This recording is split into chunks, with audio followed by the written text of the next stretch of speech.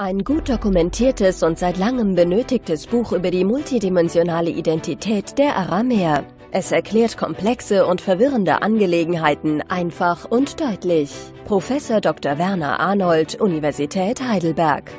Dieses neu erschienene Buch über die faszinierende Geschichte, Identität und Sprache der Aramäer, auch bekannt als Syrer, beschreibt zudem, wie manche von ihnen zu Assyrern wurden, nachdem europäische und amerikanische Reisende, Kartografen, Missionare, Archäologen und Kolonialmächte im 19. Jahrhundert in den Nahen Osten kamen.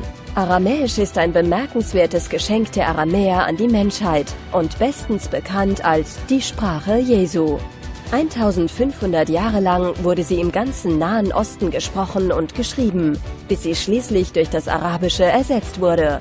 Aramäisch und die Aramäer überdauerten mächtige Reiche und spielten eine bedeutende Rolle für Juden, Christen und Muslime bei der Geburt ihrer Religion und Literatur, inklusive der Bibel und des Korans. Was steuerten sie noch der Weltkultur bei? Wann und weshalb entstanden die syrische, die nestorianische, die melkitische, die maronitische und die chaldäische Kirche, von denen manche die aramäische Sprache bis heute bewahrt haben?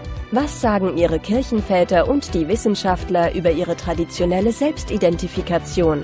Wie können wir oft genutzte Namen wie Aramäer, Assyrer, Chaldäer, Syrer, Suryaje, Syrjoje und Assyroje verstehen? Diese und andere faszinierende Fragen, die in diesem Werk beantwortet werden, wurden mit vier einzigartigen und bislang unveröffentlichten Dokumenten über dieses semitische Volk angereichert.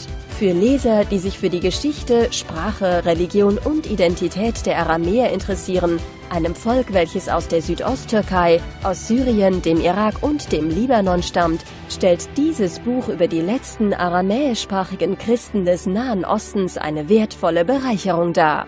Hol dir jetzt dein Exemplar www.johnnymesso.com